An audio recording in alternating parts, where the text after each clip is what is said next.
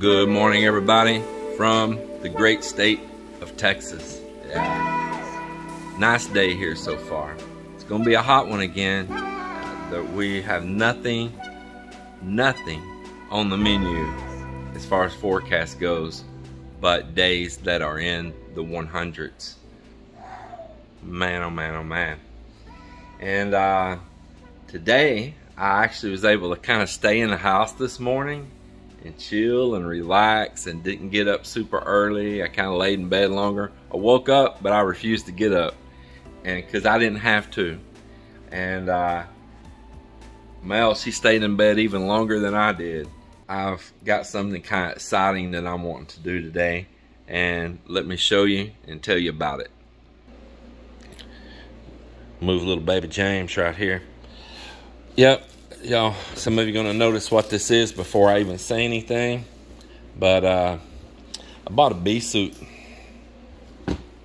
Yep, I bought a bee suit. And there's the gloves for it.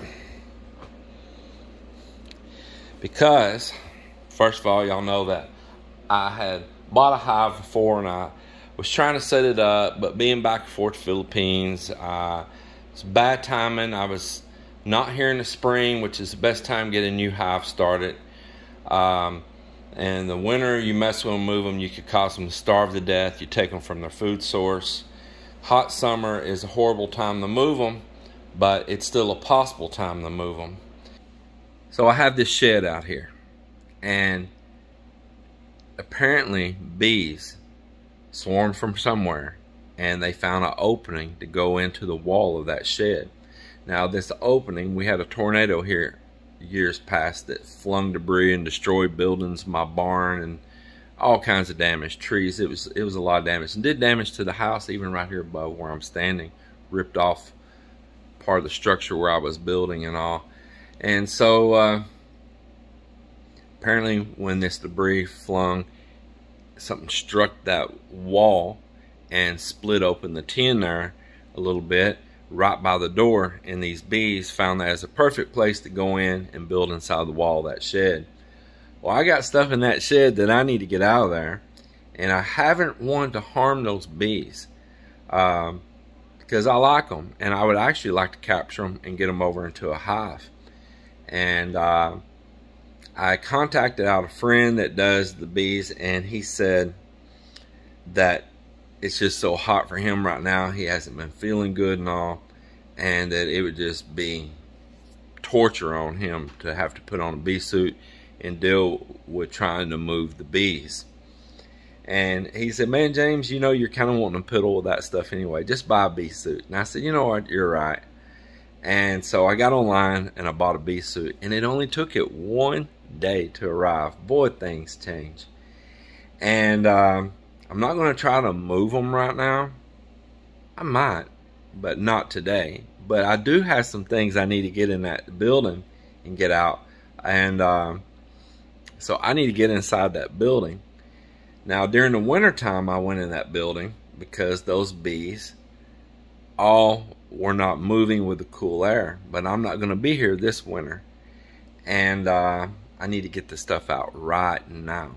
I've got some things in there that I'm wanting to ship over to the Philippines and we got boxes ready to ship that we would like to send off tomorrow.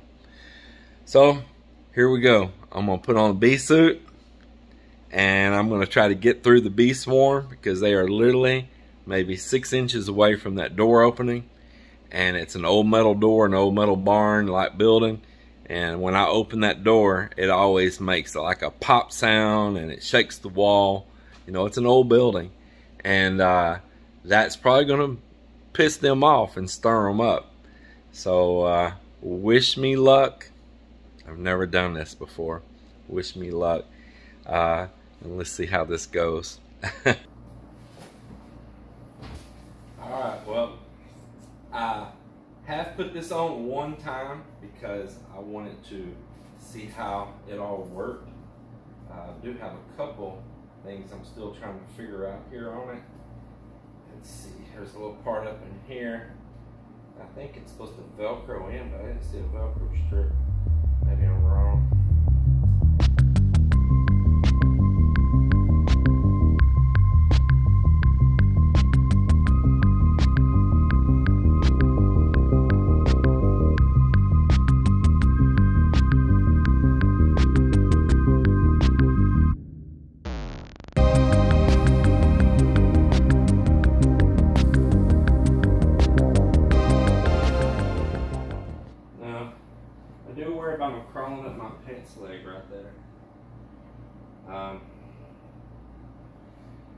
Don't know if I should be a nerd or scared and put some tape around my. Well, actually, the scene that I see in the YouTube, they're not really go down, you know. They're gonna be all up and around. Yeah, around. All right, there was some gloves here. uh, brand new experience, and you put the gloves. You put this over the gloves. It's really thick, you know, like why they. Yeah, it's a. It's like a cotton. I mean, you put the gloves over or under. It didn't. I guess I should go to Google and read, get online, see um, if you need to put the glove over. I think mostly it's under just. No, no, that would be hard to do. Here, pull that back down. Pull this over.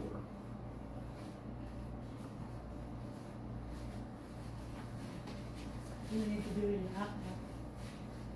Well, you want where you can see them to make sure they're all off of you and not crawl in a little crap. Well, that's not bad right there. Yeah, help me with the other one. huh?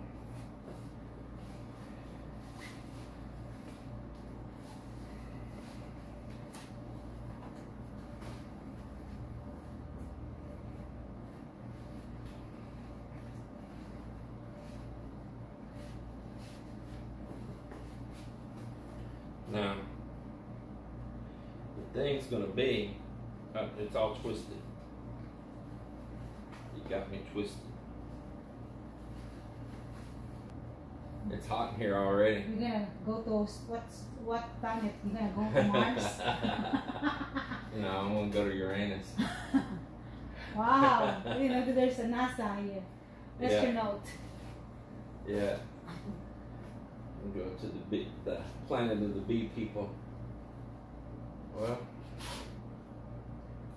right there, I know it can easily slide open right there. This looks like a weak point to me. It should have had a little piece of Velcro over it. I think you just got nervous. So, no, they, they get a little hole right there and they're going to be right where they're swarming around you. They'll crawl in. I am a little nervous. I'm not going to deny I am.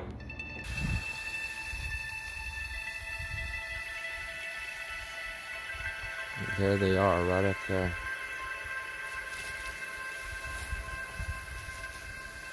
I don't have any smoke to try to smoke them.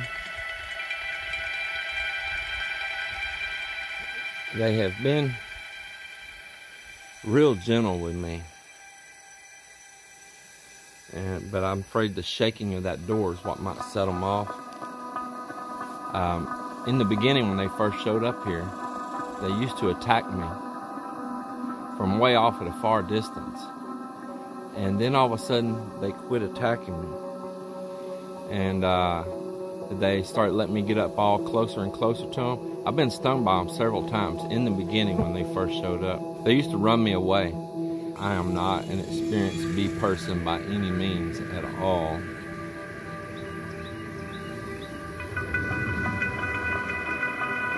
They are flying, checking me out, and I'm just going to be uh, non-aggressive with them. Now, I'll tell you, they um, if you swat at them and things, and you make an aggressive move, you're asking for it. Then they are smart little creatures.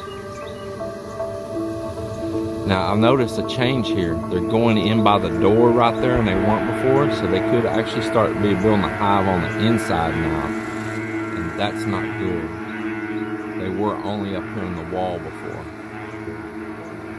Well, I'm gonna make a move here. This could be the bad move. The door was pretty quiet. The move real soft. This is went pretty smooth so far. They have been building a little bit of cone up here on the door.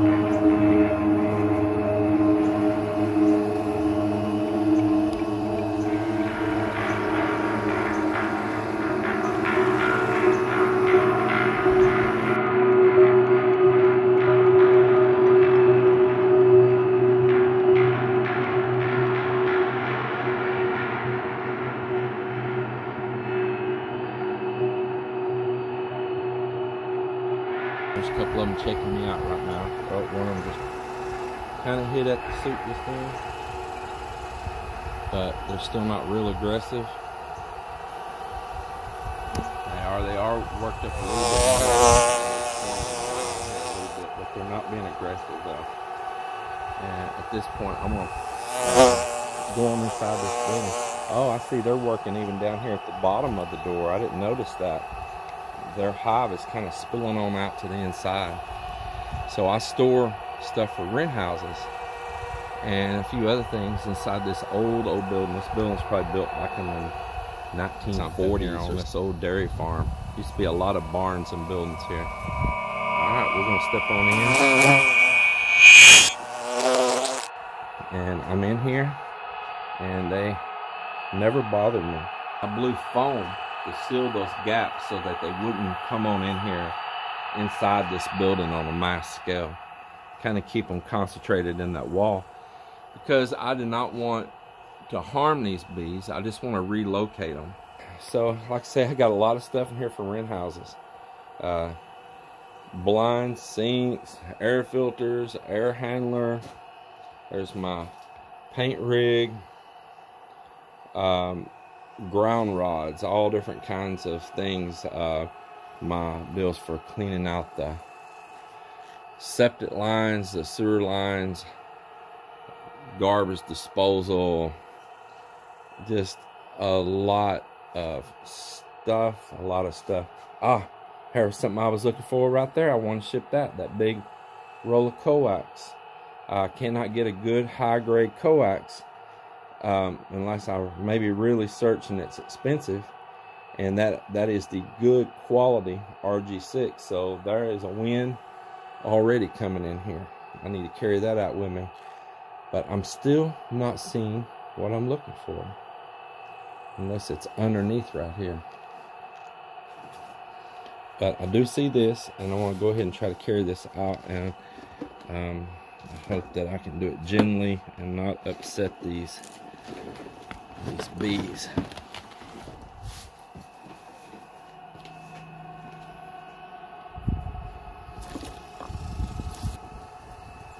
This is pretty cool that they're not being aggressive. Um, I've got more of these down in another building. These are my hydraulic jacks.